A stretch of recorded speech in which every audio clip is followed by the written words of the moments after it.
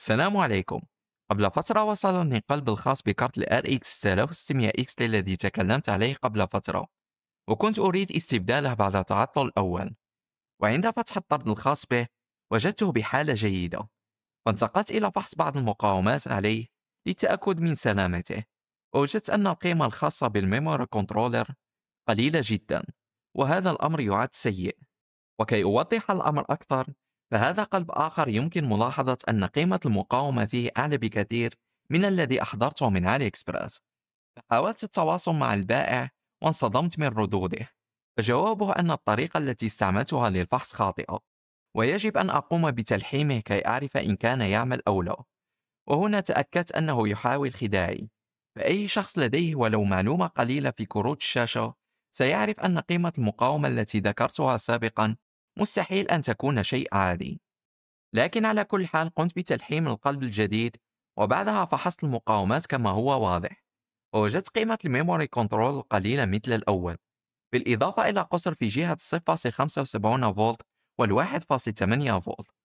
وعندما استعملت الكاميرا الحرارية وجدت قصر لم أرى مثله في حياتي. ففتحت نزاع كي أرجع الأموال التي دفعتها وأصر البائع على أنه يجب علي إرجاع القلب ليتم تعويضي وأعرف هذه النوعية من الخداع ففي الغالب سيعطيني عنوان خاطئ أو عند استلام القلب سيرفض إرجاع المال بسبب أن القلب ليس بنفس الحالة التي أرسلها إلي به.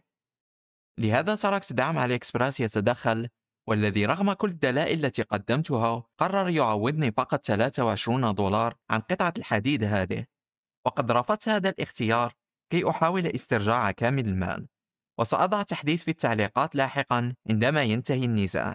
وهذا الشيء ليس هو الوحيد الذي حدث لي. فقد اشتريت مؤخرا عدة قطع من الفيرام والبائع أرسل لي قطعتين مصنوعتين في 2018 ومعروف عن شرائح مايكرون المصنوعة في هذا التاريخ أنها تتلف مع الوقت الواحدة تلو الأخرى.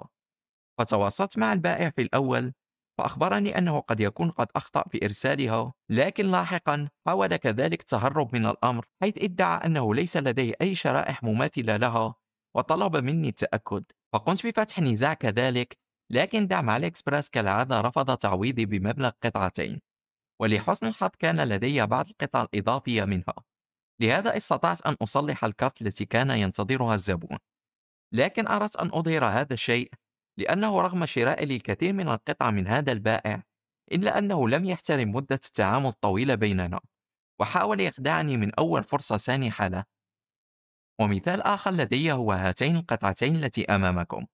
فبالنظر إليهم فلا يمكن تمييز أي فرق لكن لو قمت بفحص البين الأول لكل قطعة سيظهر أن واحدة منهم تعطي قيمة والأخرى لا وليس هذا فقط بل كل البينات الباقية لا تعطي أي قراءة مثل الأولى. وسبب هذا هي أن القطعة الفارغة تم تزويرها وبيعها وهذه أيضا من طرق النصب الكثيرة التي أواجهها. وآخر شيء سأتحدث عنه في هذا الفيديو هو اللوحة هذه التي تكلمت عنها قبل عدة أشهر وأظن أني حاولت تغيير السوكت من قبل ثلاث مرات ولم أنجح. لهذا هذه المرة سأحاول مرة أخرى. حيث نزعت ال socket كأول شيء وبعدها نظفت البينات المتأكسدة تحتها ثم وضعت socket جديدة وقمت بتلحيمها.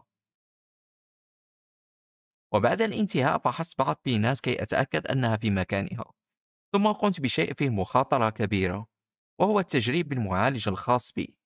حيث وضعته في لوحة وشغلتها احتاجت بعض الوقت لكن في الأخير ظهرت الصورة بشكل عادي.